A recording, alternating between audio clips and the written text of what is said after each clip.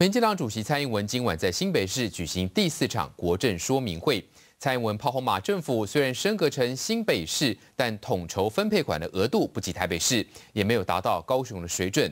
如果他当选二零一二总统，会把中央欠新北市民的钱，通通还给大家。开新北市这个战场半年多后，蔡英文晚间重返新北市，支持者热情不减。蔡英文也亲切的跟民众互动。今日坐下来，咱的乡亲时代，是不是去年我们都见过面的？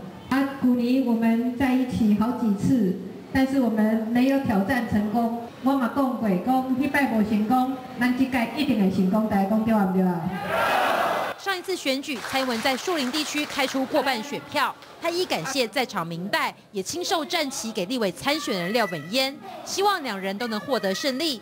话锋一转，蔡英文还把矛头对向马政府，质疑中央在统筹分配款的支配上不公平，没有办法达到台北市诶水准，那么至少一定要有高雄市的水准，大家对唔对啊？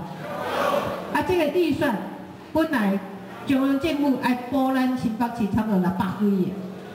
你，才给我们四百多亿，你空空着的你，我要是当选总统，我一定会把欠咱五都的预算，和咱的五都安尼好不？进逐二零一二年的总统之路，蔡英文回到熟悉的新北市，争取支持。明星王佩文、李泽明，新北市报道。